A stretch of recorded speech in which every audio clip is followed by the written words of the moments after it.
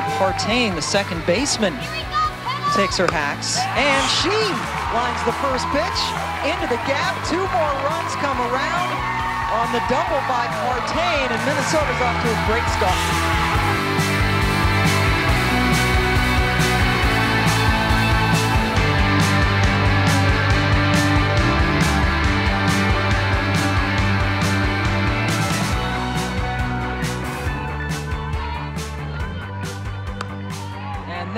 Is just past the glove of Katie Smith.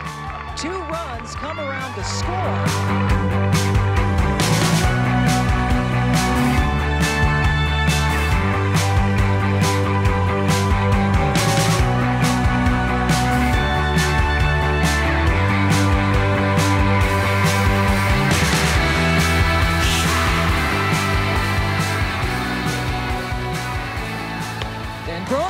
Delivers.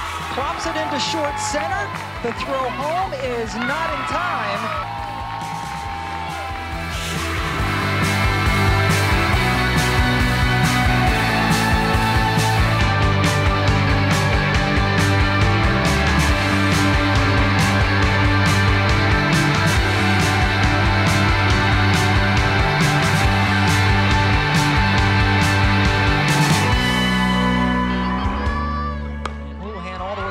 Third, and now she's hitting the plate. Partain.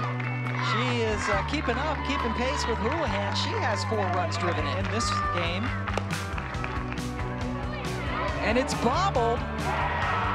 Safe. The run, runner tries to come home, and she is out.